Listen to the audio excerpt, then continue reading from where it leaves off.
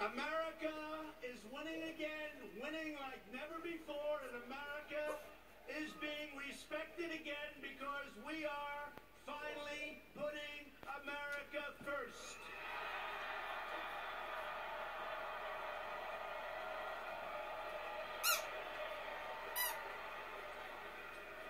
And it's all going to start with Josh Hawley. We love him. We love Josh.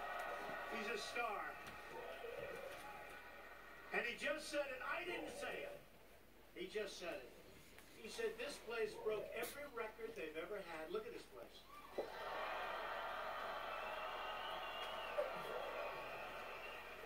Now the fake news will never say that. They'll never report it. They'll never. They will never report it, but that's okay because we all know it. And by the way, obviously, look at what happened in 2016.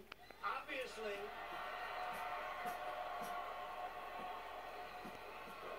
Remember all the phony polls, the states that we were supposed to lose? And then 8 o'clock, the state closes. Donald Trump has won the state of Texas. Donald Trump has won.